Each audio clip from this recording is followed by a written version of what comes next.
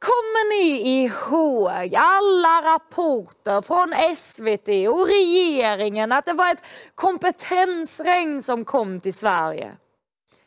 Men ja, vi fick inte några läkare eller ingenjörer som utlovades under migrationskaoset när Löfvens Europa inte skulle bygga några murar och så vidare. Men vi fick, i varje fall, Duraid Muhammad Anka. Och tyvärr är det inte någon avlägsen släkting till Kalle Anka. Nej, utan Samnytt rapporterar nu om att Ankan spenderar sin tid tydligen med att hoppa på bilar, hetsa mot poliser och kasta sten. Och i detta fall fungerar nog knappast vänsterns argument om att det handlar ju om barn. För Ankan är alltså 32 år gammal. يلا هي اوف اوف اوف اوف اوف اوف هي هي الاكل بليك مانن لك إيه لك الله اكبر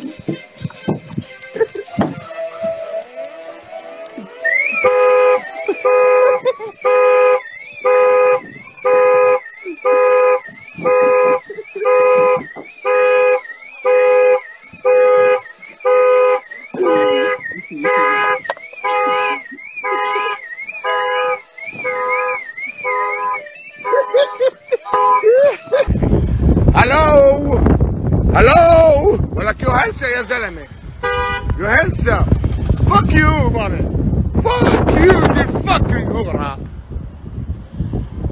ولك هورنجر مانن دم هورنجر Väldigt fint beteende det där.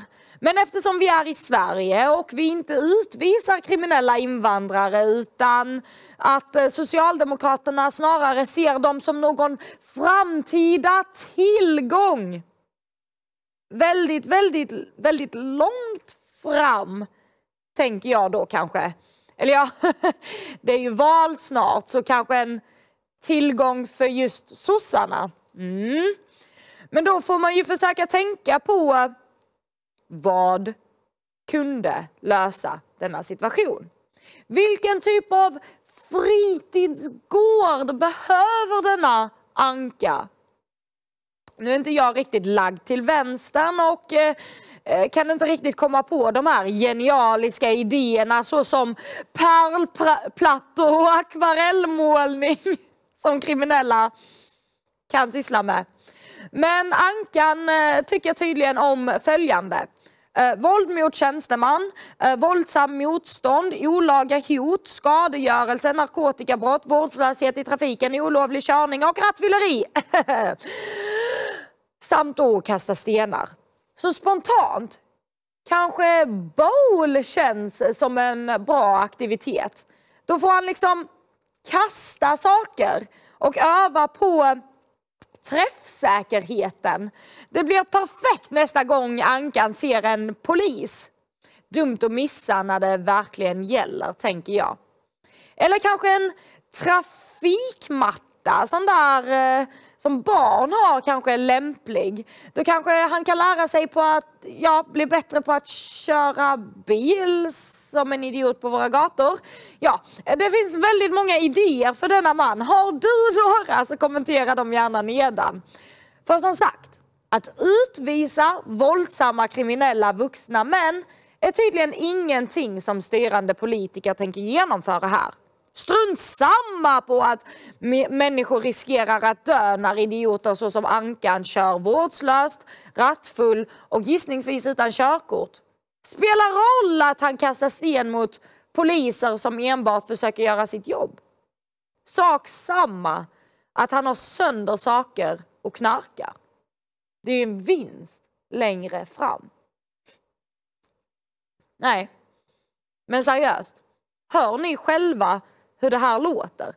Finns det något som helst argument till att denna uppenbart farliga och kriminella person ska få stanna kvar i vårt land? Något? Något alls?